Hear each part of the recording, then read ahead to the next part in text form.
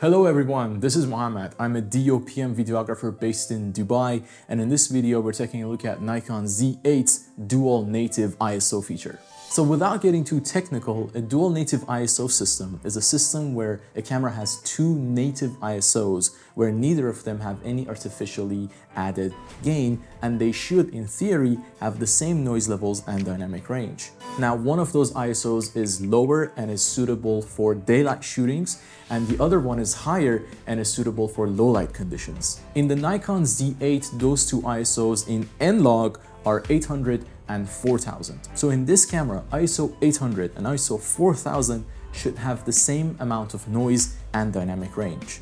And based on experience, let me tell you, shooting at ISO 4000 with the f1.8 primes from Nikon in low light situations and getting such clean imagery is something that we could only dream of just a few years ago. Now let me show you some example shots and let's take a closer look at those noise levels.